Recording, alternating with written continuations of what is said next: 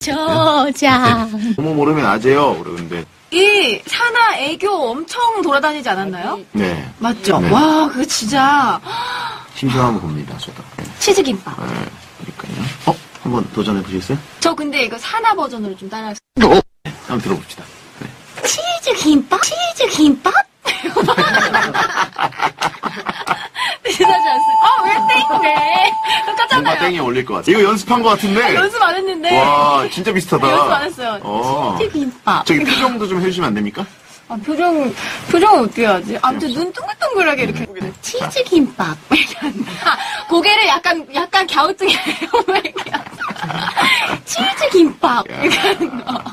좋네요. 비슷합니까? 네네네. 음, 이게 백두애교라고 이북, 이북 버전이라고 하신 분들 있고 음, 소희한테도 시켜보자 가지고 분 있어요. 어, 소연 씨 잘하시겠죠, 당연히. 치즈 김밥. 치즈 김밥? 잘 자, 내 꿈꿔. 코